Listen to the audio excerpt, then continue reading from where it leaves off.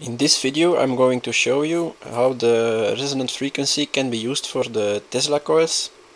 Over here we have the first coil that's going to be our transmitter of the frequency signal. Uh, this is the connection from the plus from the output from the signal, signal generator. And over here we have the ground connection. Uh, both are connect connected uh, to the ground of the um, signal generator. And this one is going outside to the earth. Then we have the second coil. And this coil is connected to our uh, oscilloscope. Um, and so we can measure the output so we are going to place this one on top of the other.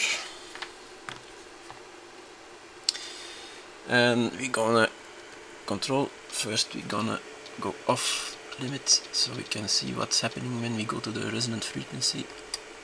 So at the moment um, we have 190 kilohertz and we are going to the screen of the oscilloscope now we're going to higher uh, the frequency and you will see that uh, sinus is starting to appear.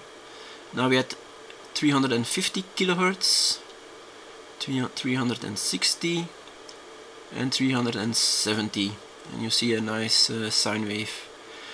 Um, there is no load on the coil if I go higher you will see that the sinus will lower. So that's why we need the resonance frequency for.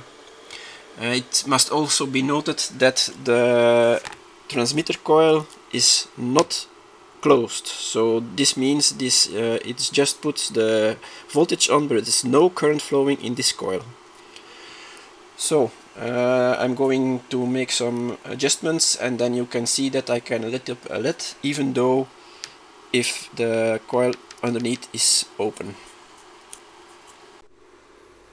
So I connected the LED and you will see the sine wave is much less in amplitude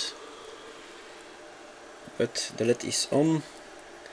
Now if we change the resonant frequency you can see that the LED will go off. I can try if I can see them both at the same time.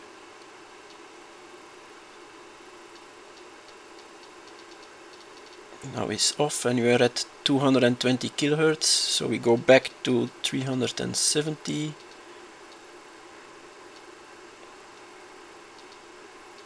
So, so as you can see, that's why I need the resonant frequency for. Uh, you will see this uh, Tesla coils are wound on old vinyl uh, records to keep them in form. And the other the sender Tesla coil is uh, open. So there is no current flowing uh, just the voltage from the signal generator. Uh, signal is, is on there. So thank you for watching and now you know why I need the resonant frequency for